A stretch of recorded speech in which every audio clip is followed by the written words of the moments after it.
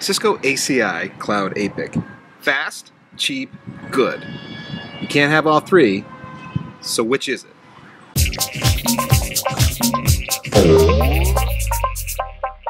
So traditionally, Cisco ACI has been a on-premises solution. It is your switching uh, management domain. It gives you security, it gives you policy, it gives it to you in a central uh, console, and it allows you to manage who can speak to whom within traditionally a data center. Now, there's been a lot of extensions and work done to this to take the scope of Cisco ACI from the data center into uh, other realms. And one of the recent announcements I heard Cisco talk about was the cloud APIC.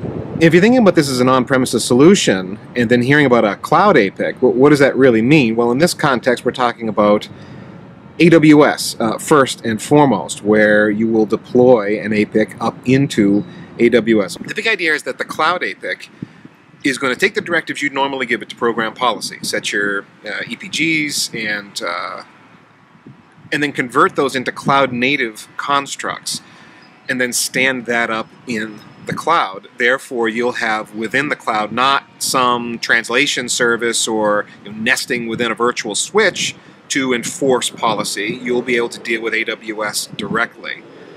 You know, the idea is that you're going to uh, stand up an APIC first, uh, there's a form you're going to fill out to do this, to get this thing running, and as soon as that initial cloud APIC has been deployed and it's, it's stood up in uh, AWS, you're going to stand up a couple more of them to build a cluster, uh, jumping off of that initial cloud APIC that you installed, and then you'll now have your cluster. You can join that cluster to your centralized uh, APIC management domain and manage within AWS this, uh, this site, if you will, that's up in the cloud the Cloud APIC cluster is going to handle whatever you need based on what you filled out in the form. Do you need some CSR 1000s? It will deploy those, uh, etc. And then uh, with all of that done, it's doing a translation for you so that AWS native constructs are what's being used to control the traffic flows in and around the VPC or VPCs that are being set up. So uh, let's go back to fast, cheap, and good. Is it going to be fast? Um, well, if you're using Cloud Native Construct, you should be able to get as much oomph out of the solution as AWS will allow. Now, one thing to understand about Cisco ACI and APIC is that traffic isn't traversing through the controller. This is, it's just a, the controller simply programs the forwarding plane. So it's not as if APIC is any sort of a bottleneck. Uh, so there's no slowdowns there. Um, I would be concerned if there ended up being a lot of VXLAN encaps and decaps, which traditionally there would be. Uh, yes, we're using some cloud native um, constructs here to control traffic, but still the way ACI works, there is VXLAN tunneling involved to connect all of these different endpoints together. So uh, if I'm asking my AWS VPC to run cloud service routers to do VXLAN encaps and decaps. Uh, is that fast? Or, you know, I'm asking CPUs to do things. Uh, so there's some latency there. Is that a bad thing? Well, you know, again, I'd want to see it in action and kind of see. For depending on the workload, it may not matter at all. Certain other workloads, maybe it does. That's a thing to consider and profile remember, the original ACI big idea was doing all the magic in hardware, hardware VTEPs in your data center, uh, maximum efficiency as fast as possible. So putting all of that and dumping it in the cloud doesn't sound, it's not all going to be hardware accelerated, you know what I'm saying? So I worry about that. I worry about latency. I worry about just how fast it's going to be. Uh, cheap. Is it going to be cheap? no. it's not going to be cheap. I don't have pricing, okay? I don't have pricing in front. Of me. I don't know how expensive or what this is. I mean, but there's a, there's a couple of things to point out here. One, very likely you are heavily invested in Cisco ACI already. You've got APIC controllers, you've got sites, and in fact, you're so invested in it that the whole reason you want to do this uh, that is put uh, stand up cloud APIC in AWS is because you're trying to extend your operational model into cloud. You are that much a believer in how the operations model is working for you, the security, the auditing, the reporting, all of that. And that's fine. There's a there's that that makes sense. There are certain shops where that is absolutely perfect, and I'm sure there are people asking for this. But is it going to be cheap? Again, I mean, come on. This is not probably not going to be cheap. It's going to be expensive in a couple ways. One I can think of is presumably licensing. Again, I don't have those any pricing in front of me. It's going to be a licensing cost. You're standing up an APIC cluster.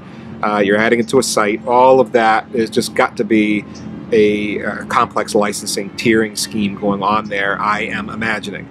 Um, and then two, uh, well, now you got to think about your AWS costs because now you're as asking for cloud service routers potentially, depending on what architecture is required.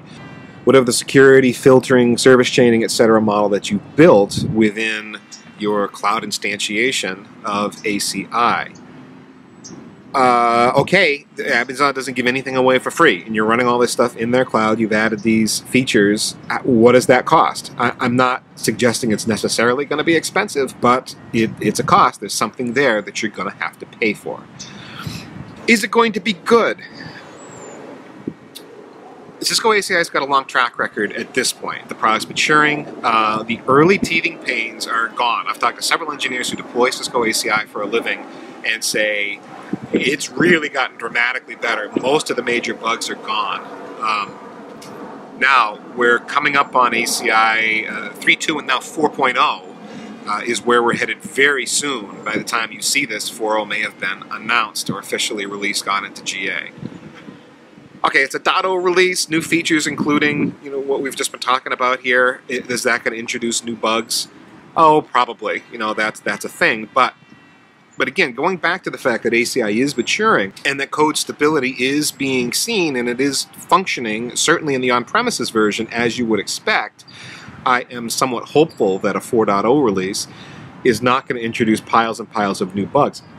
But the reality is there are so many new features being added here that I suspect there will be some impact to overall code quality as you deploy this thing. So I would be very hesitant to do a to instantiate a cloud APIC cluster and start with your policy management and, and happily running your cloud workloads through this infrastructure.